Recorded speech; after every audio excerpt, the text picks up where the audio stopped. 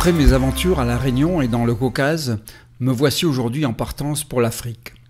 Vous allez découvrir les moments de bonheur que j'ai vécus, mais aussi les moments de douleur quand j'ai failli abandonner et comment j'ai réussi à aller au-delà de mes limites et de mes souffrances.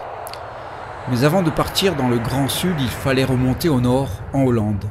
L'avion prend parfois des voies détournées pour arriver au but, comme parfois les événements de la vie. La différence, c'est que dans la vie, on ne le sait pas toujours à l'avance. Une fois à bord, je réalise que c'est vraiment enfin le début. La pression retombe et tous ces derniers mois repassent en vitesse rapide dans mon cerveau. C'est quand même ma troisième grande aventure solidaire, mais elle sera un peu moins solitaire cette fois-ci. J'arrive à Amsterdam dans cet énorme aéroport de Schiphol. À l'arrêt du bus, je demande à une jeune fille si l'on peut prendre le ticket à l'intérieur. Et là, elle m'offre spontanément un billet correspondant à mon trajet. Ça commence bien.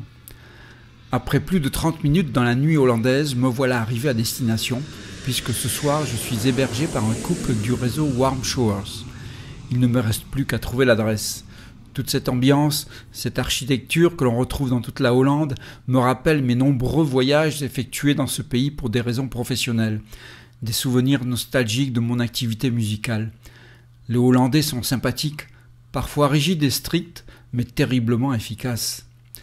Le couple chez qui je loge a déjà parcouru de nombreux pays à vélo depuis une quinzaine d'années. Après un vol sans histoire, je débarque à l'aéroport Kilimanjaro en Tanzanie, sur ce continent qui m'a vu naître. Je retrouve mon vélo et tous mes bagages apparemment en bon état. C'est déjà un énorme soulagement. Mais deux surprises m'attendent. La première, c'est que nous ne serons que trois concurrents pour le Kiliman, ce triathlon un peu spécial du Kilimanjaro. Un couple de Nouvelle-Zélande et moi. Je ne sais pas encore si c'est un avantage ou un inconvénient. La deuxième surprise, c'est qu'il a plu tous les jours cette semaine. Les routes sont mouillées. Nous sommes en février et normalement c'est un des mois les plus secs et la saison des pluies commence vers mi-mars. Les Tanzaniens ont été surpris par ce changement inhabituel.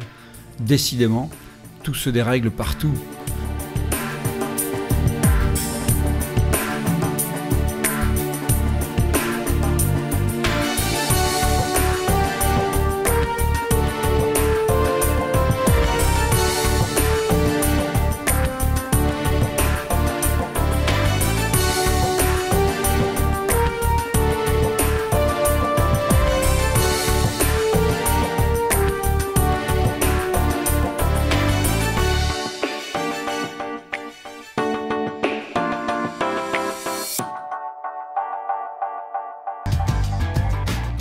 Mais nous n'étions pas venus là pour nous prélasser. Pas le temps de se reposer. Après un réveil à 5h30, départ à 7h à vélo pour le tour de cette montagne isolée la plus grande du monde. Heureusement, le début se fait sur la route goudronnée. Cela donne un peu de répit à mon postérieur, car la chute a laissé des traces. Je suis obligé d'installer un coussin pour isoler la partie défectueuse. Quand nous attaquons la piste, la situation devient plus tendue. Il faudra un moment pour que je trouve une position plus ou moins acceptable, mais chaque pierre, chaque secousse, chaque trou provoque une douleur, c'est-à-dire toutes les secondes. En début d'après-midi, ne trouvant pas mon équilibre habituel sur le vélo, je chute deux fois sur l'endroit sensible. C'est terrible. Je suis obligé de m'allonger un moment avant de pouvoir remonter avec difficulté sur le vélo. Je commence à me demander si je vais arriver au bout. Mais de toute façon, je n'avais pas envie de rester enfermé dans ma chambre en attendant le vol de retour. Ce n'était pas au programme. Je suis venu ici pour accomplir une mission et elle se fera. Tout cela me rappelle les mêmes moments de questionnement pendant la diagonale des fous, dans la descente de Silaos, ou le jour où j'ai été malade en Roumanie durant mon périple sur la route de l'Arménie. C'est dans ces situations les plus difficiles et les plus imprévues de mes aventures que j'ai acquis la certitude d'arriver au bout, envers et contre tout. Et je crois qu'aujourd'hui cela va se vérifier encore. C'est au moment le plus dur que l'espoir est au plus haut, que le rêve est le plus présent. Quel paradoxe Peut-être sublimé par l'effort ou par une touche d'inconscience, mais c'est ce qui me motive encore plus. Moralement, je me sens redevable envers tous ceux qui m'encouragent, et cela m'aide à avancer et me réconforte.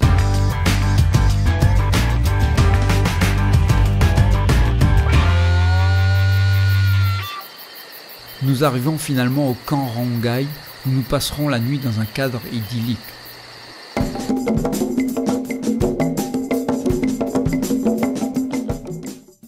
Après un briefing pour ne pas renouveler les ratés de la journée précédente, nous démarrons à nouveau sous le soleil. La température dépassera les 40 degrés dans la journée. Je commence à trouver des techniques pour diminuer la douleur, comme par exemple m'appuyer très fort sur les pédales et dans le dos pour soulever la partie endommagée et soulager les douleurs. Position efficace dans les descentes, mais risquée pour l'équilibre. D'ailleurs, dans une descente justement, je glisse involontairement dans le fossé sur la gauche tout en roulant dans les herbes à environ 50 km/h. Petite frayeur, ou plutôt grosse frayeur, mais dans ces circonstances il faut rester calme. Les pensées vont vite, je me vois déjà au crash, le périple fini et le vélo en morceaux, les pneus crevés. J'essaie quand même de maîtriser le vélo, et finalement, il revient doucement sur le chemin au bout de quelques dizaines de mètres. Un petit miracle qui me laisse pantois. Mais je ne m'arrête pas pour autant, je continue ma folle équipée. Depuis l'arrivée du soleil au champ du coq, le temps est clair et magnifique et les montagnes sont bien visibles. D'ailleurs, quasiment en permanence depuis le départ. Le guide nous confie que c'est un privilège extraordinaire, car ce n'est pas souvent le cas. En fin de journée, nous nous arrêtons au village culturel Maasai de Holopongi, perdu au milieu du bush. Même les guides n'ont pas su le retrouver tout seul. Après la douche, David nous raconte un peu l'histoire de ces tribus, une sorte d'écomusée pour mettre en valeur la culture Maasai, un des rares peuples au monde à vivre encore aujourd'hui comme il y a des centaines d'années. La seule entorse, c'est le portable. Tout le monde en a un ici. Les revenus de ce village servent pour l'éducation des enfants.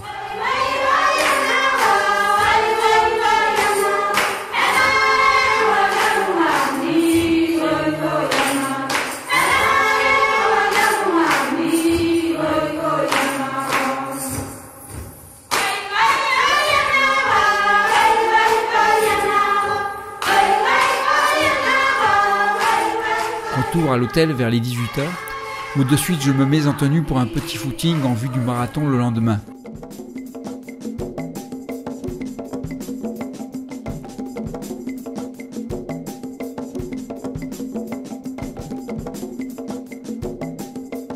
Cette fois-ci, c'est seul que je me retrouve sur la route, avec l'envie de profiter au maximum de ces huit jours devant moi qui me semblent courts pour cette nouvelle aventure. Le départ de Moshi se fait avec vent de face et de côté. Il faut prendre à nouveau l'habitude de piloter un vélo chargé, mais avec des fesses en compote. Je m'arrête dans une station-service pour faire le plein d'essence pour le réchaud. La jeune fille qui sert les motos refuse de me servir. J'insiste, elle prend ma bouteille, la regarde sous tous les angles et finit par accéder à ma demande. Arrivé à la frontière tanzanienne, je m'attendais à voir une vraie frontière quelque chose de sérieux quoi. Mais c'est une simple barrière en fer avant d'accéder à un bâtiment en attente de rénovation. Ensuite, plus de route goudronnée, c'est directement la piste, la poussière, les cailloux. J'avais pourtant cru voir une belle route sur la carte consultée avant le départ. Je continue vers la frontière du Kenya où les bâtiments ont l'air plus récents mais sont déserts. Bureaux, immense parking complètement vide. J'arrive peut-être trop tard. Le contrôle prend un peu plus de temps. On veut me faire remplir un questionnaire pour savoir où je vais, où je vais m'arrêter, mais je n'en sais rien moi-même. L'employé insiste pendant un moment pour me demander la liste des hôtels et leurs adresses. La discussion s'éternise. Finalement, je lui donne le nom d'un village où je dois passer. Il a l'air calmé et me rend mon passeport. Je pénètre dans la première grande ville, Taveta. Je croyais y trouver un supermarché et des magasins, mais ce ne sont que des petites boutiques et ça grouille de monde. La nuit tombe toujours très rapidement au niveau de l'équateur et je décide de trouver un endroit pour bivouaquer. Quand le douanier m'a demandé où j'allais dormir, je lui ai dit sous la tente. Alors il m'a mis en garde contre les animaux sauvages. J'avance donc et je cherche un endroit pour dormir. Ce sera mon premier bivouac africain. À un moment, je vois un petit chemin qui s'enfonce derrière les bosquets. Je m'y engage et arrive devant une petite maison où un jeune est assis. Je m'approche, essaye d'engager la conversation en anglais. Peine perdue. Il va chercher sa petite sœur qui se débrouille beaucoup mieux que lui. Conciliabule familial avec les parents pour savoir s'il m'autorise à camper là. Finalement, il me laisse planter ma tente dans le pré. J'installe mon campement sous le regard des enfants intrigués. Mais la petite fille de 13 ans vient me chercher pour m'inviter dans leur maison. Je suis un peu gêné, mais devant son insistance, j'accède à sa demande. Et là, je comprends qu'ils m'attendent pour le repas. Ils me tendent un tabouret en bois sur lequel je m'installe, en face de la mère qui est en train de préparer le plat, sur le feu de bois, à même la terre battue dans la pièce principale. J'assiste avec grand intérêt à la préparation du dîner, mais je ne sais pas ce que l'on va manger. Je suis très gêné devant tant de générosité. La mère part chercher quelque chose en s'éclairant avec une allumette. Au bout d'un long moment, après avoir tourné et retourné la boule, on m'invite à m'approcher à la table basse, à côté du père. Sur celle-ci est posée la seule source de lumière de la maison une petite lampe à pétrole que j'avais prise au départ pour une bougie, tellement la flamme était petite. Sur la gauche, je devine un grand lit où la grande sœur est assise et la petite à moitié couchée. Elle fait ses devoirs, elle apprend ses leçons. Je ne sais pas comment elle arrive à travailler dans un tel environnement et avec un livre plus qu'usé par le temps. En toute simplicité et humilité, je partage ce repas, interpellé par tant de sollicitude envers moi un peu choqué de découvrir leurs conditions de vie et gêné de peut-être prendre une part de leur nourriture. Mais c'est fait avec tant d'amour et de générosité qu'on ne peut refuser. Vers 5 heures du matin, je suis réveillé par une sorte de bruit de pluie. C'est bizarre. J'essaie de me rendormir, mais sans succès. Toujours ce bruit. Et quelque chose me démange sur la tête. Alors je me rends compte que des centaines de minuscules fourmis m'ont attaqué mais j'entends toujours le bruit. Et là, je constate un autre problème. Des centaines de grandes fourmis ont envahi la tente et s'activent sur le tapis de sol. En catastrophe, je range toutes les affaires et plie la tente, cette fois-ci étant attaquée par les moustiques à l'extérieur. Je réalise alors le désastre, plein de petits trous de partout. Les deux filles me disent au revoir après être venues m'aider spontanément à ranger la tente en enlevant délicatement les piquets. Elles ont une heure de marche sur les pistes et chemins, simplement pour l'aller, afin de rejoindre leur école, chaussée de simples tongs et par tous les temps. Quelle motivation et quelle soif d'apprendre. Quand je vais saluer les parents, ils m'attendaient avec la tasse de thé. Quelle hospitalité et quel exemple de générosité envers l'étranger inconnu de passage. Je reprends la route ou plutôt la piste en direction de Rombo. Il faut que je prononce au moins cinq fois le nom de cette ville quand je demande mon chemin, car ils ne comprennent pas. Au bout d'un moment, je réalise que je n'ai pas l'accent adéquat. Il faut dire Rombo, et tout va mieux. Sur la piste, il faut souvent choisir entre le risque de prendre une épine en roulant au bord à droite ou à gauche où la zone est un peu plus roulante, ou circuler plus au centre sans ces risques mais avec plus de cailloux et de bosses. Quel dilemme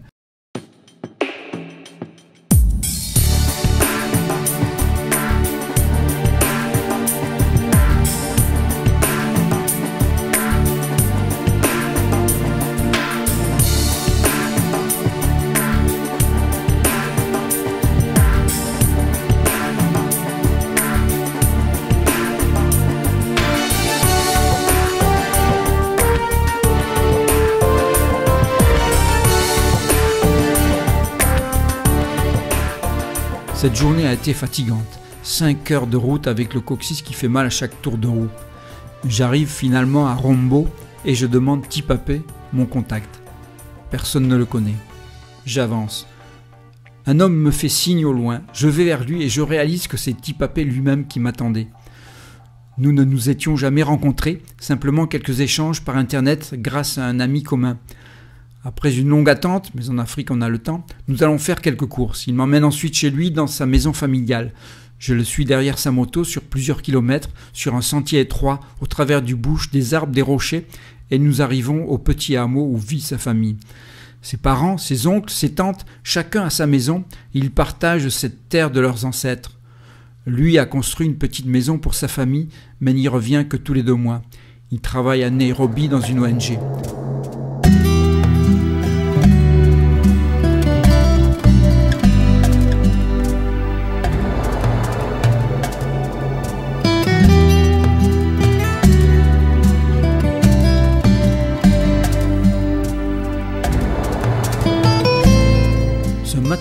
Deux professeurs de l'école qu'il est prévu de visiter sont venus spécialement partager le petit déjeuner avec moi.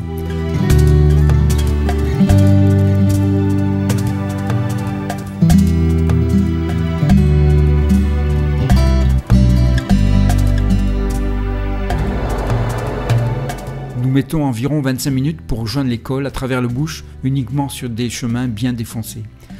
Une fois arrivé, il m'introduit auprès du directeur qui m'explique l'histoire et le projet de cet établissement implanté depuis 7 ans. Ils ont 160 élèves sur deux sites, une école maternelle plus une primaire.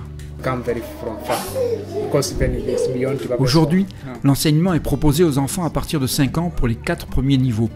Ils cherchent des finances pour créer les 5 et 6e niveaux, construire un nouveau bâtiment et à plus long terme ouvrir un collège. Mais le village n'a aucun budget pour l'école. Les familles participent un peu pour y envoyer leurs enfants, mais parfois elles ne peuvent même pas donner ce qui leur est demandé. 200 shillings par mois, c'est-à-dire moins de 2 euros. Oui, moins de 2 euros par enfant. Il y a des périodes où les parents n'ont pas les moyens et n'ont même plus de quoi manger à la maison. Certains élèves qui sont ici aujourd'hui n'ont même pas mangé depuis hier. Les enseignants leur donnent quelque chose. Une situation compliquée et difficile rendu encore plus dramatique ces années passées en raison de la sécheresse qui sévit. Beaucoup de familles ont perdu tous leurs troupeaux, seule source de revenus. Une des raisons qui a suscité la création de cette école, c'est le problème des animaux et en particulier des éléphants. À certaines périodes, ils sont si présents sur les chemins que certains enfants ne pouvaient plus aller à l'école car ils devaient traverser des zones trop dangereuses. La situation géographique de ces nouvelles classes leur permet maintenant de contourner ce danger. Je suis ébahi devant la motivation et l'engagement des professeurs, devant la soif d'apprendre de ces élèves qui bravent des conditions difficiles tous les jours pour venir à l'école. On est loin de nos problématiques de pays soi-disant plus développés.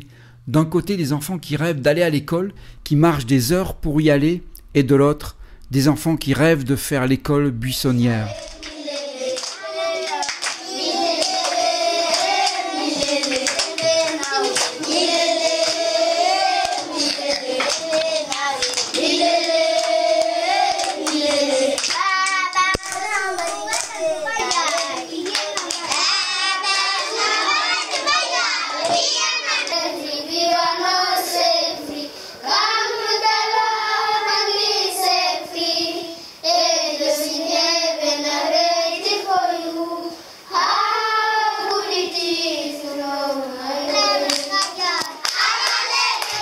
Avant de remonter sur la moto, le directeur me dit qu'un enfant voudrait me parler. Il s'approche de moi et me propose de faire mon portrait pour me laisser un souvenir. Et voilà ce gamin de 10 ans qui en 5 minutes à peine réalise ce dessin fabuleux. Des talents, il y en a partout, et je suis peiné de ne pas pouvoir aider ces enfants à réaliser leurs rêves.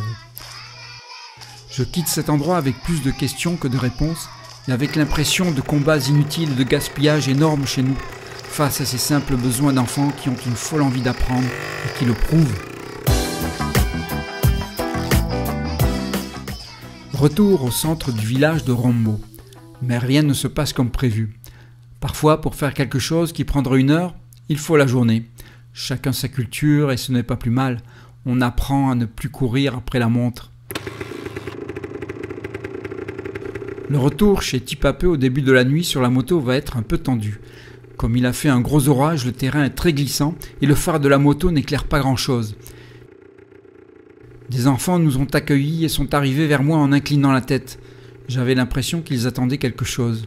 En fait, il faut leur toucher la tête avec la main pour les saluer. Aujourd'hui, le départ est un peu tardif car il a fallu le temps de faire les adieux et de retrouver mes lunettes. Cela m'a obligé à déballer quasiment toutes mes sacoches. Dans une semaine, quand ce sera fini, j'aurai enfin mémorisé la place de chaque objet.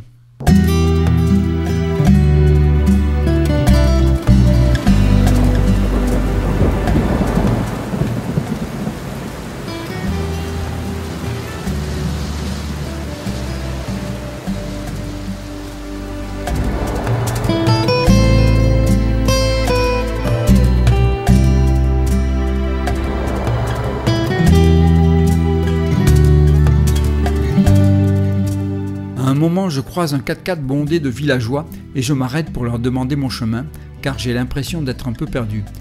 Ils me disent qu'il faut que je fasse demi-tour car je ne suis pas sur la bonne piste et que je dois faire attention car la semaine passée, quelqu'un a été attaqué par un lion dans cette zone. Sur ces entrefaites, un jeune arrive sur sa moto. Il me propose de m'emmener chez ses parents pas très loin de là pour camper plus en sécurité. Wilson est marié avec une Hollandaise, il connaît donc l'Europe. Je suis super bien accueilli dans cette authentique famille Maasai.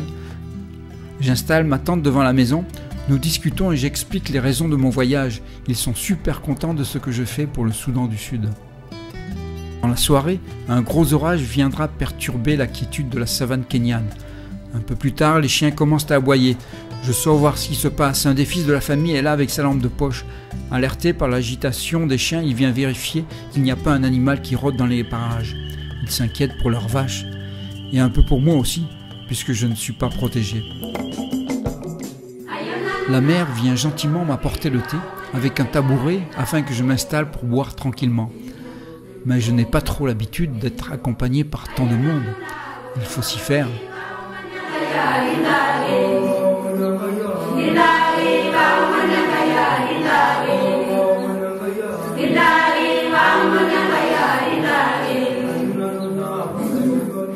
Wilson m'a dessiné un petit plan pour essayer de me repérer dans les jours qui viennent car je n'ai pas de carte. Vers 9h, je me mets en route direction Namanga, une ville située à environ une centaine de kilomètres. Il m'a dit qu'il n'y a qu'à suivre la piste et c'est tout droit. Facile à dire quand on a l'habitude, mais quand c'est la première fois, ce n'est pas évident de se repérer au milieu de nulle part ou de ne pas avoir de doute quand la route traverse la cour d'une école. À un moment, je me retrouve seul au milieu du bush. Je ne sais plus trop où aller. Les infos sont succinctes, voire contradictoires. Les durées et les distances sont aléatoires. En fait, les Africains raisonnent plutôt en temps qu'en distance. Les repères ne sont pas les panneaux, il n'y en a pas de toute façon, mais les collines, les villages, les rochers, les arbres. Vers midi, on m'indique qu'il y a un village dans 10 minutes, mais sous un soleil à 45 degrés, il me faudra trois quarts d'heure pour l'atteindre. C'était probablement une estimation pour une moto. Il ne faut pas confondre le village et la ville, comme on me l'explique gentiment. Et ici, ce sont les boutiques. Quand je demande s'il y a la possibilité de manger, on m'emmène à la boucherie où de la viande crue pend au plafond dans la chaleur, squattée par une colonie de mouches. Je demande si je peux manger. Pas de problème. Rapidement, pas de problème. En 15 minutes, c'est possible. Je commande alors de l'ougali en accompagnement de cette viande et je m'installe au bar où on m'offre une bière. Le repas arrive une heure plus tard. Cela me donne du temps pour discuter avec ses nouveaux amis. Il me propose un guide à moto pour l'après-midi pour 16 euros. Je crois que je n'ai pas le choix. Pour eux, c'est comme si c'était fait. Alors j'accepte car le chemin n'a pas l'air très net. Richard, le guide, me précède donc à moto après cette halte bienfaisante. Au bout de 30 minutes, il s'arrête pour prendre quelqu'un. Un guide officiel du parc national qui connaît la région et qui m'explique qu'on passe sur le chemin extérieur du parc en me signalant quand même que c'est interdit. Mais c'est pour me montrer les animaux. Je comprendrai plus tard que ce sera aussi le prétexte pour faire monter la note. Je continue donc ma route tout seul, en espérant, d'après leur description, un chemin correct et roulant. Mais ce n'était pas du tout le cas.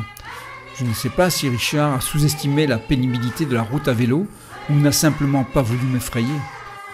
C'est un chemin difficile avec beaucoup de pierres. Il faut parfois s'arrêter, pousser, et je chute plusieurs fois. Au bout de deux heures, Richard s'arrête et me dit que je peux continuer tout seul. Il suffit de suivre le chemin.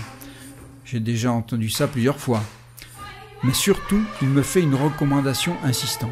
Il faut s'arrêter au prochain village pour la nuit si je ne suis pas sûr d'arriver au village suivant qui se trouve 20 km plus loin.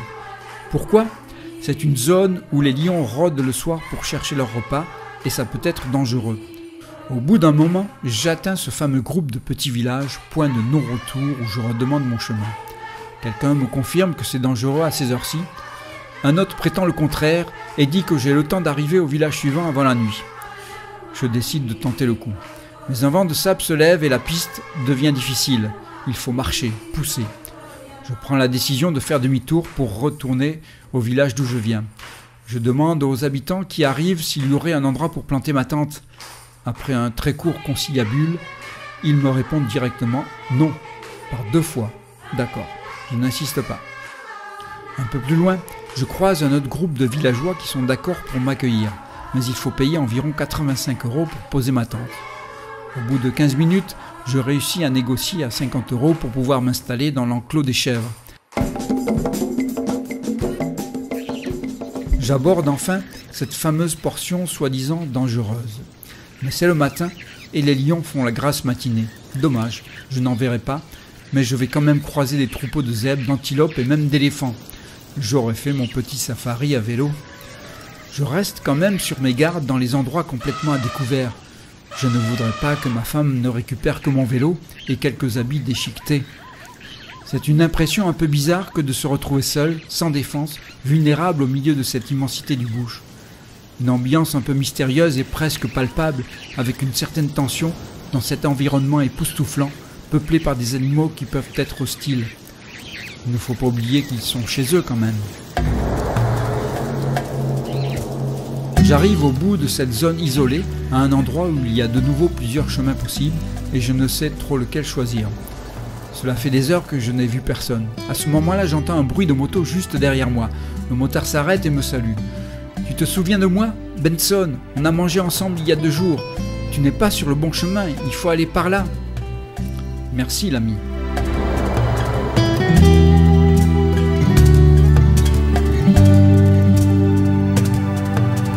Quand je redemande la direction et que je dis que je vais rejoindre la prochaine ville avec ce vélo, il commence à rire.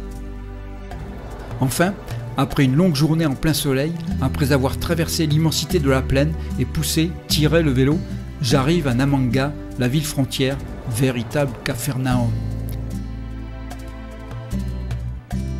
Mais le jour baisse et il faut que je trouve un lieu de bivouac. On me conseille une grande propriété où se trouve une école et une église pour être en sécurité. Je vais pouvoir planter ma tente sur un bout de terrain. Je n'avais pas réalisé que c'était samedi soir que dans beaucoup de pays, ces jours de fête, c'est le relâchement du week-end. Entre le bruit des bars, la musique des discothèques et la circulation de la route, c'est un joyeux brouhaha qui se prolonge tard ou tôt dans la nuit. Et au moment où je pensais être tranquille, c'est l'appel du muezzin qui démarre, suivi ensuite par le chant des coqs. Au bout d'un moment, tout ce beau monde se calme et j'imagine, dans ma naïveté, que je vais pouvoir enfin me reposer quelques minutes, même si le jour commence à se lever. Raté. J'avais oublié qu'après le samedi vient le dimanche, le jour du Seigneur, et que je loge dans une propriété catholique. Et à 6 heures, les cloches de l'église à 20 mètres de là claquent dans le soleil naissant pour l'appel à la célébration. Je crois que cette fois, je n'ai plus besoin de réveil. C'est le coup de grâce dans tous les sens du terme. Je retrouve le long ruban noir qui s'en va dans la plaine tanzanienne à perte de vue au des montagnes. Une route polissée qui augure de conditions plus normales. Mais je suis un peu déçu toutefois d'abandonner cette nature encore sauvage, ses habitants attachants et authentiques. À midi, je fais une pause dans un petit restaurant. La cuisinière me prépare à même le sol une assiette avec du riz et des haricots.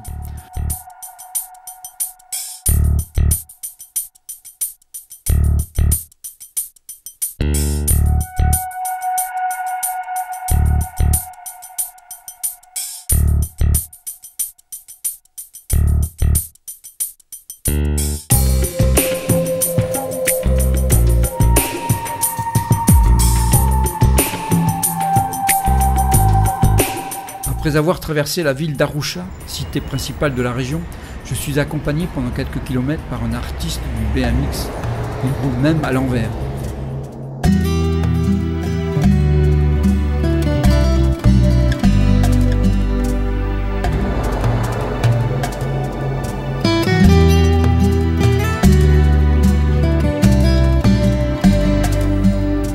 Ce périple a quand même été pour moi un petit choc culturel humain.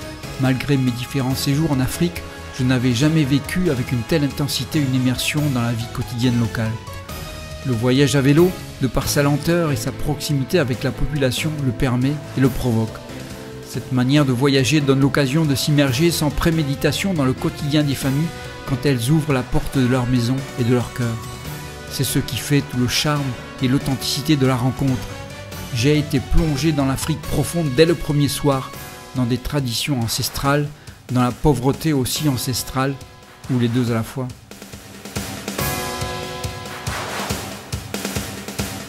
Je vais devoir quitter mon personnage d'aventurier, ma deuxième vie depuis quelques années. Le laisser là en Afrique. Rien ne me prédestinait à de telles aventures. Mais je ne regrette pas tout ce que j'ai vécu jusqu'à présent, bien au contraire. Il faut savoir faire des choix et gérer les étapes de l'existence. Durant ce périple, j'ai souvent pensé aux réfugiés du Soudan du Sud qui souffrent pour survivre, alors que moi, j'ai en quelque sorte souffert non pas par plaisir, mais pour mon plaisir. Je savais qu'indirectement, ma souffrance les aiderait à mieux affronter leur situation, puisque mon défi sportif a permis de récolter des fonds pour leur fournir des kits d'urgence. Cela m'a redonné du courage et de la motivation. L'épisode de ma chute dans la descente du sommet a été une grande expérience que je ne regrette absolument pas. Il m'a aidé à mieux m'identifier à la souffrance des autres, à la situation des réfugiés du Soudan du Sud, à la condition de ceux qui vivaient là où je suis passé, dans un contexte beaucoup plus difficile que le mien. Au fait, vous savez quel a été le résultat de ma chute? Après quelques examens en retour, le médecin m'a dit que j'avais une fracture du sacrum. Vous savez, je crois qu'il ne faut pas s'arrêter aux circonstances parfois difficiles. Sur le moment, on peut se poser beaucoup de questions, voire se remettre en question, mais il faut apprendre à regarder plus loin, vers le but. Si nous savons être ouverts, notre vie en sera enrichie. Et à notre tour, nous pourrons enrichir les autres. On ne peut donner que ce que l'on a. Pas spécialement nos finances, mais aussi notre savoir-faire, notre temps, notre cœur. Ce sera toujours utile pour quelqu'un. Et cela peut même changer sa vie. À jamais.